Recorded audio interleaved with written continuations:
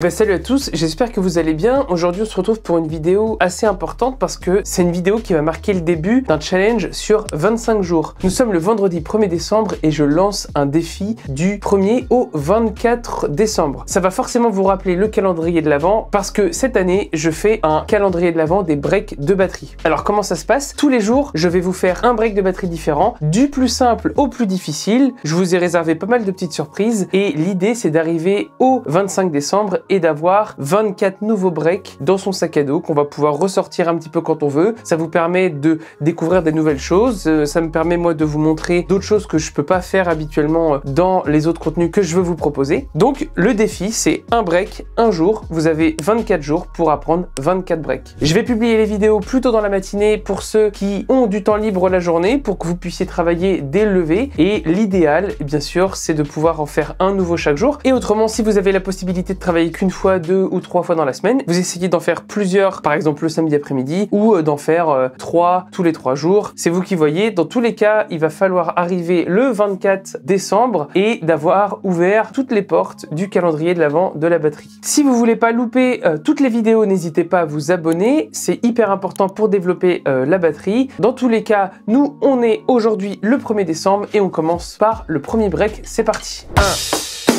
3,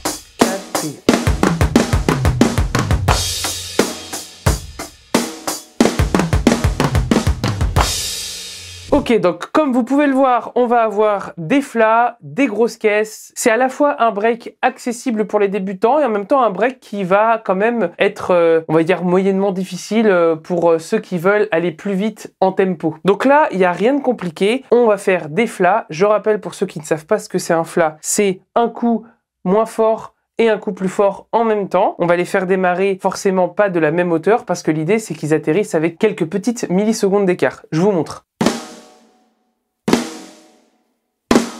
Moi, j'aime bien avoir la main droite un peu plus basse, la main gauche un peu plus haute. Et on va faire ça. Fla. Faut considérer ça comme un seul et même temps. Donc là, on est sur le 1. Et le 1, voilà, est composé d'un petit flat. Et donc, vous avez vu que sur le break, euh, vous allez donc avoir une caisse claire, un tome aigu, un tome médium et un tome basse en flat. Donc, pour commencer, on va faire 2, 3, 4. On recommence. 1, 2, 3, 4. Encore une fois. Maintenant, on va venir rajouter des grosses caisses entre les temps et ça va donner ça.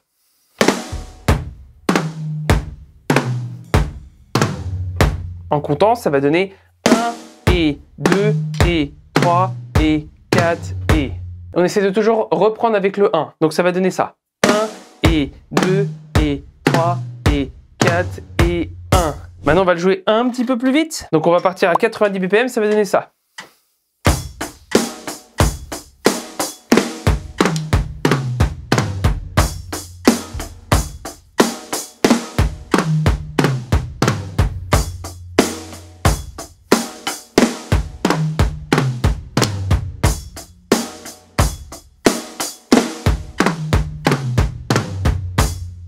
Il n'y a rien de compliqué, c'est absolument important de bien respecter les alternances de coups entre le flat et la grosse caisse. C'est ce qui va vraiment donner du punch à la rythmique, c'est ce qui va vous donner quelque chose de solide. C'est un break plutôt rock, donc il va falloir être vraiment bien à l'aise sur les appuis et bien appuyer les temps. Si vous faites ça, il n'y a pas de problème. Maintenant, on va le faire à 110.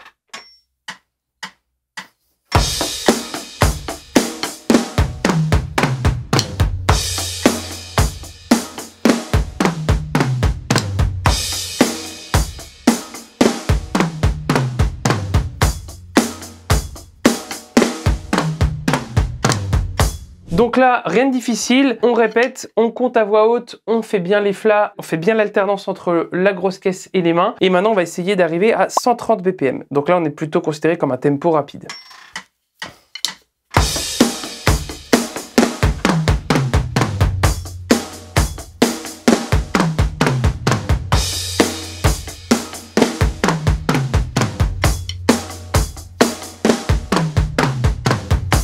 Ok, voilà pour le premier break d'aujourd'hui. N'hésitez pas à jouer lentement. La vitesse, c'est pas forcément le plus important. D'ailleurs, vous pourrez complètement valider le calendrier de l'avant si vous jouez tout à des tempos lents. L'idée, c'est vraiment de penser en termes de qualité et pas forcément en termes de vitesse. La vitesse, c'est vraiment le dernier élément qu'on met dans le travail. Merci à tous d'avoir suivi cette vidéo. N'oubliez pas de vous abonner. On se voit demain pour le deuxième break dans ce challenge du calendrier de l'avant des breaks de batterie. Vous pouvez retrouver la partition des 24 breaks de batterie dans la description. N'hésitez pas à les télécharger. Merci beaucoup, à demain, ciao ciao